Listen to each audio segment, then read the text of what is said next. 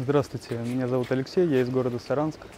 А, лекции Олега Геннадьевича я начал слушать где-то пять лет назад, а, и они помогли мне укрепиться своей, можно сказать так, вере а, в будущее свое.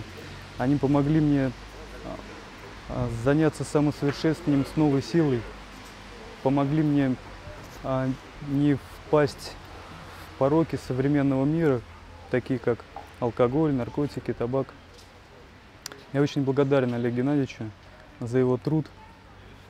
Эм, Премного благодарен. Нет той возможности выразить свою благодарность ему.